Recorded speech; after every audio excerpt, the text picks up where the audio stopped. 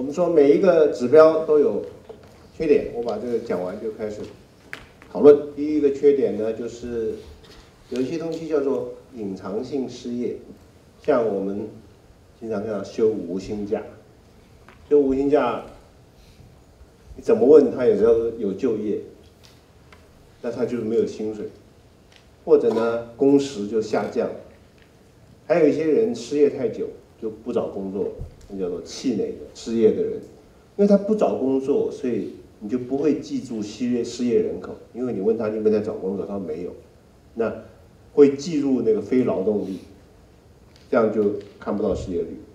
第三个呢，一个人失业一年和十二个人各失业一个月是不一样的，后者没有什么成本，每个人失业一个月，呃，还有亲戚朋友可以帮忙。可是如果是前者，如果前者失业一年的话，就非常糟糕。但在统计上是看不出来的，因为抽样上面如果是大样本，都是十二分之一。失业也有结构问题，产业啦、教育啊、南北啊、族群啊等等。我现在现在也知道自己是天龙国的人，呃，失业有一些定义，什么叫摩擦性失业呢？就是任何人前一个工作辞职，上一个下一个工作上任之间的摩擦，就叫做摩擦性失业。那什么叫循环性失业？如果你是圣诞树销售员，当然是循环性失业，每年只有一个多月的时间会就业。什么是结构性失业呢？这个是最严重的。嗯，像台湾的产业结构调整，像有一大堆的产业是台湾接单、海外生产，这就会造成那一个产业，产业因为产业外移，它整个就就不知道怎么找工作。假设你是电脑装配员，假设你已经五十几岁，假设人保、广达全部都是工厂移到外面去，那你就失业了。失业之后你再转业，天知道那有多难。你有二十几岁还可以转业，你有五十几岁怎么转业？我的最后一个国际的 offer 是，我看那是哪一年？二零零八年吧。这所有的挖角啊，大概都是五十五岁以前，不太有人要挖什么六十五岁、七十五岁去挖角干什么。所以转业啊，大概也是五十，小贼才会转业的，老贼不会转业的。好，那自然失业率没什么重要性。那政府能做什么呢？失业的时候没办法，就业辅导啦，转业进修啦，促进流通资讯啦，加速转业整群啊。那最不好的就是就失业率，很多政府是不懂产业转型。如果按教育程度分呢，你看这个图呢，就是国中以下的失业率啊，原来是很低的，现在也是蛮低的。但你看那个大学以上的哈，大学以上的失业率现在是最高的。从差不多一百年以后，大学以上的失业率就就超高的，就是所有教育程度里头最高的。为什么呢？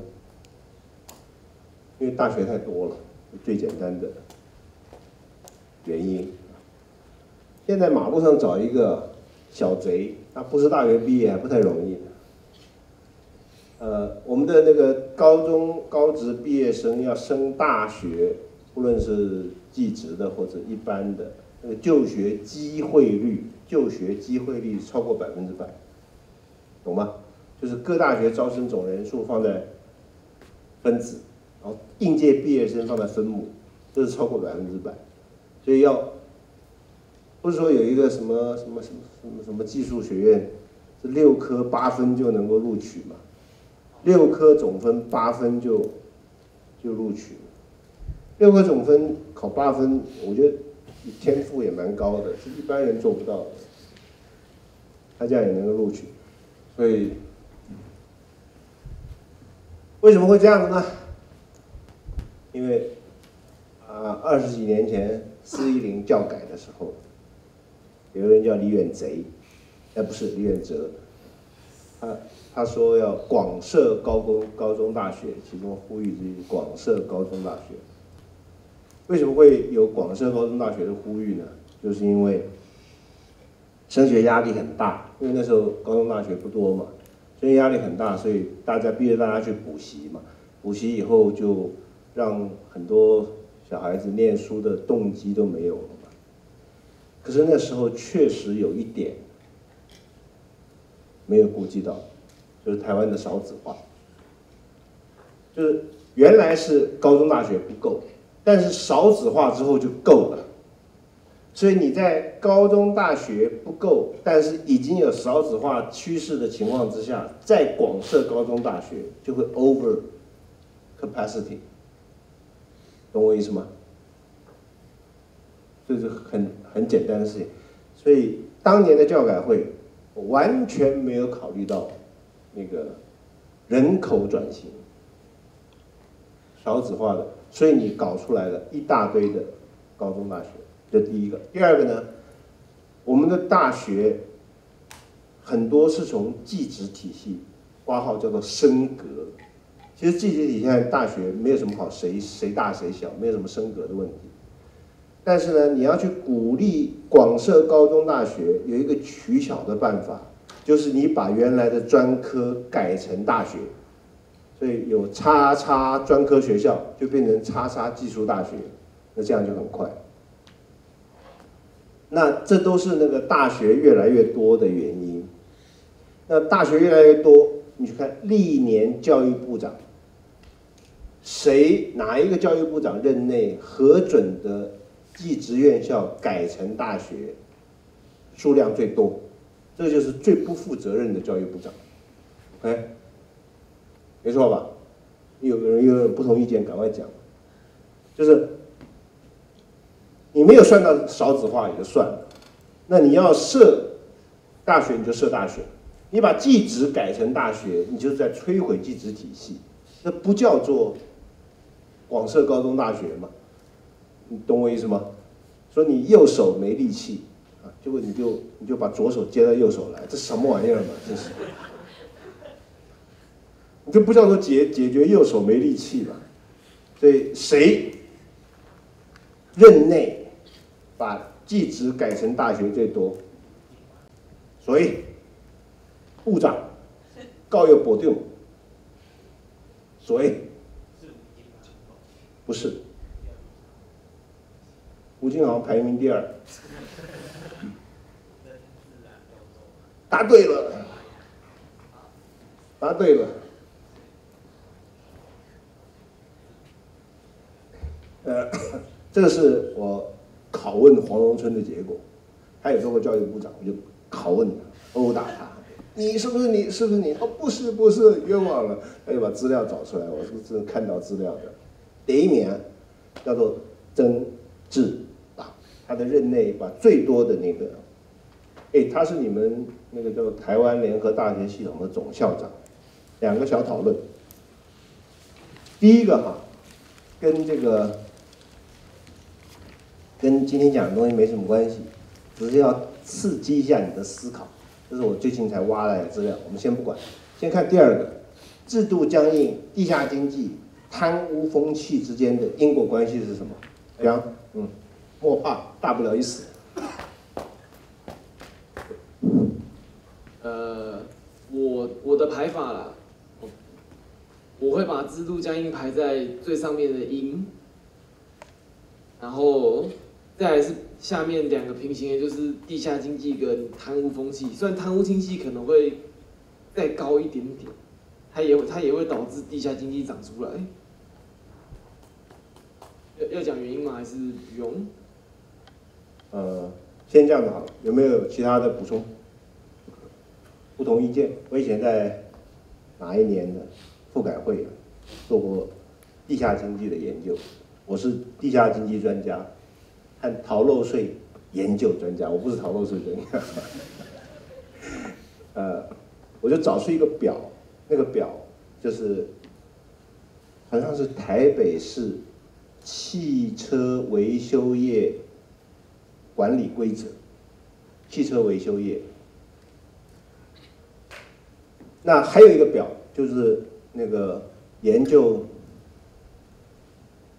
我们有台湾有两个地下经济是不可思议的大，一个叫地下金融。按照许家栋以前做过中央银行副总裁还有那个财政部长，他说台湾的地下金融的规模大概跟地上金融差不多。台湾的地下交通，你都没想到，跟地上交通差不多？什么叫地上交通呢？呃，不是有一些游览车在什么台南、什么台北之间走来走去的吗？现在还有没有统联客运？当年统联客运是非法的。为什么统联客运非法呢？因为我们有一个管理规则，说任何游览车。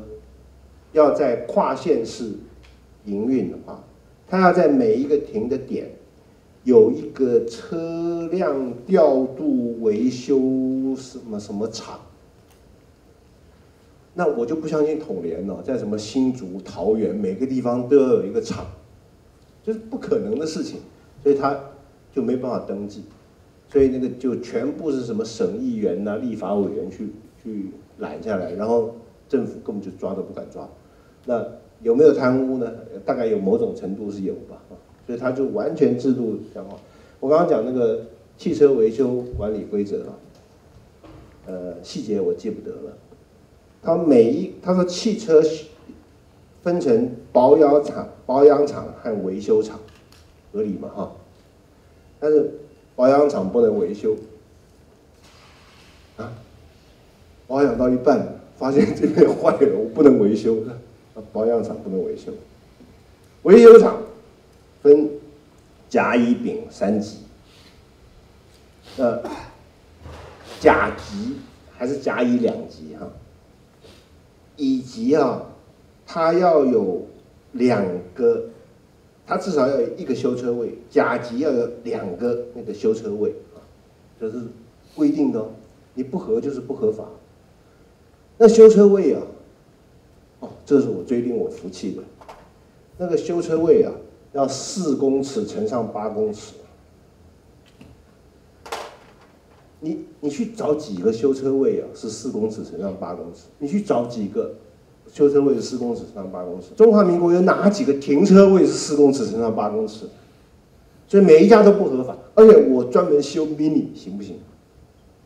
就是没有屁股那个 mini，可以吧？啊？mini 需要四公尺乘八公尺，四公尺乘八公尺都可以掉头了，它就是四公尺八公尺。然后每一个那个修维修厂啊，要一个工具间，那个工具间呢要二公尺乘上三公尺，我这头小，因为哪一个修车厂有一个叫工具间，那工具间还得二乘上三呢，然后那个工具间。还画一张表，叫工具悬挂表。所以我们的管理啊，管到说那个工具间呢，这个榔头是钳子，什么三号螺丝什么，它可以搞到这个地步，那是二十几年前，真的是，如果他搞成这个地步啊，全台湾那有一家合法，我脑袋就剁给你，真是没有一家，你去看。没有，真的是没办法，这真是我们那是当年的那个制度僵硬，伟大到这个地步，现在大概都取消掉。但是就算没有制度僵硬，呃，还是可以创造很多的地下经济和贪污风气，呃，但是制度僵硬大概是最关键的，我们就讲毒品嘛，毒品是全世界全部都不准的嘛，所以这跟制度僵硬没有关系。哪里都不准，但是它绝对有地下经济，它绝对也有那个贪污舞弊，所以那条线是最难画的，就是什么样叫做制度僵硬，什么样叫做合理的管制，是很难画的。呃，我不晓得有没有跟你们讲过，你如果去查一个字啊，叫做 prohibition，prohibition 就是禁止的意思，但如果 P 是大写的话，就是。美国曾经有禁酒、禁酒令，那是最荒诞的那个的事情。他美国呢禁酒，听着啊，写进宪法。你什么时候什么时候听过禁酒写进宪法？他那个写进宪法是修宪，美国的修宪有有几种方式，有一种方式就是有好像超过三分之二的州州议会立法说不准喝酒，那就不准喝酒，所以那就是写进立法里头，就有三分之二的州就是不准大家喝酒，就把禁酒令写进宪法，所以因为禁酒令。那每个地方都不准酿酒，但是从旧石器时代以来，人类就饮酒，那酒呢是不可能禁的，所以因为制度僵硬，就一大堆的酿私酒。美国的黑社会之所以能够变成全国性的帮派，就是因为禁酒令，因为酒要走私进口啊，就是加拿大、墨西哥。在加拿大、墨西哥，你要从加拿大进来，你要运到南部一点的州，那要跨很多州，就需要一个跨州的帮派维护那个秩序嘛，对不对？因为你总不能叫警察保护嘛，所以就没办法，就把那个跨就是帮派的势力啊，跨州串联起来，就需要一个跨州的制度僵硬，那就在宪法里头，所以那简直是不可思议。